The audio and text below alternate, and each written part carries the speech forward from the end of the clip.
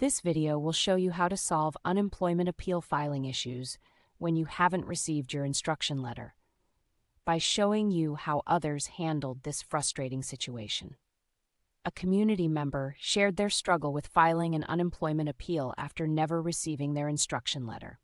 Despite calling multiple departments, they kept being referred to information on a letter they never received, leaving them stuck and unsure how to proceed. The community provided several helpful solutions to this issue. One experienced member shared a detailed step by step process for filing an appeal. Write a formal appeal letter with your personal information. Include an explanation of why you're appealing. Make sure to mention you never received the original letter Submit within 30 days of the determination date. Another useful tip came from a member who suggested contacting your local state representative, as they can often help expedite the process.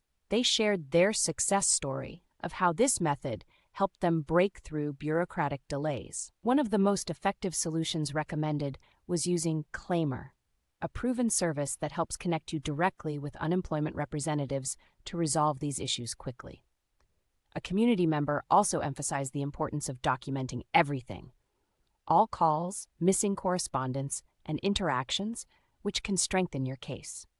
If you're facing similar unemployment issues, click the link in the description to join our community of over 10,000 experienced members who can help answer your questions and provide support through your unemployment journey. The best way to solve this, in my opinion, is with a tool to actually reach a, a live person and talk to them about your issue.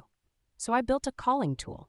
To use it, open up your browser, go to claimyr.com, and search for the Texas TWC unemployment option.